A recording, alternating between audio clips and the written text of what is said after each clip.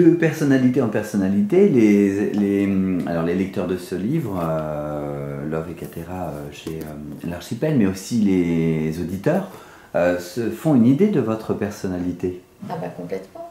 Parce que c'est la même chose. Je pense que ce qu'on aime nous dessine beaucoup plus que ce qu'on n'aime pas. C'est si on d'autant que dans le livre j'explique pourquoi j'aime et j'explique comment j'en arrive à parler de ces gens-là. J'explique ce que j'aime chez eux. Je décide de voir uniquement ce qu'ils ont de beau. Évidemment qu'ils ont sûrement des parts noires. Mais les parts noires, dans ce livre-là, ne m'intéressent pas. Et puis on en a tous. Donc c'est vous dévoiler en vous cachant derrière des personnalités. Ah, complètement.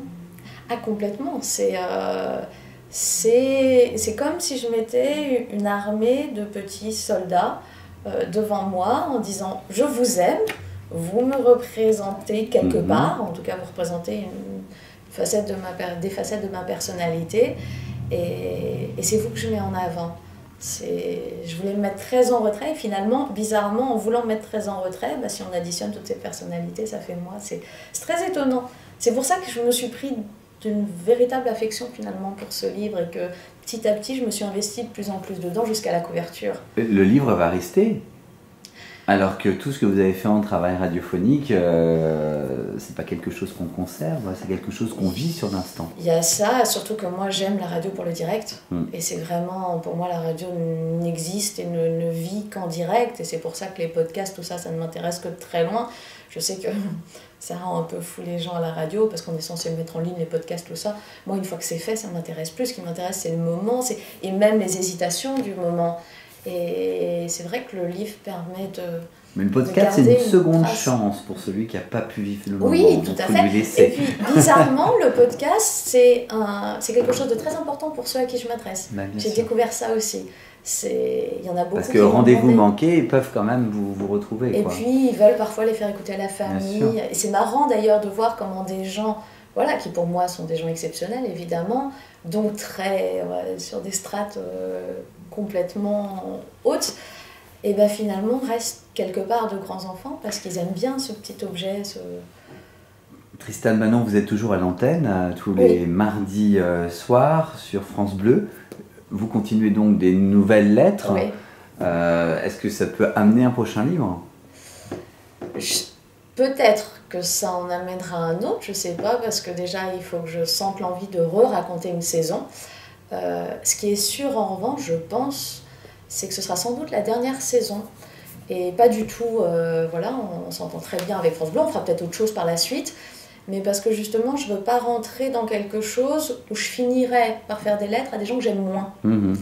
Et finalement, une saison, bah, ça fait plus de 40 personnes à aimer. Donc deux saisons, ça en fait plus de 80 au bout d'un moment, on est obligé d'aller chercher les fonds de tiroir et ça, j'ai pas envie. J'ai pas envie de rentrer là-dedans. On est nombreux sur Terre. Euh, ah, on est très nombreux sur Terre, mais il faut aussi, voilà, que ça parle à l'éditeur. Il faut que ça parle à l'éditeur. On a quand même un cœur de cible. Il faut qu'il arrive à repérer un peu. Ce qui ne m'a pas empêché du tout de faire des pas de côté, puisque notamment, je m'adresse à Laurent Bonelli.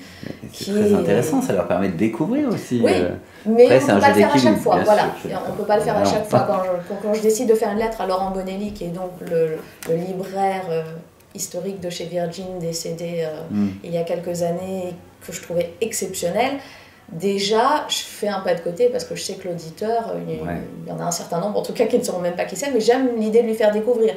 Mais ça peut pas être que ça. Absolument. Un dernier mot, euh, Tristan Bannon, sur, sur votre livre Love etc. Un dernier mot. J'espère très sincèrement qui fera. Je trouve la période actuelle très très très compliquée. Euh, il y a eu Charlie en début d'année, mais, euh, mais je trouve que à part l'été qui arrive, ça va pas forcément en s'arrangeant.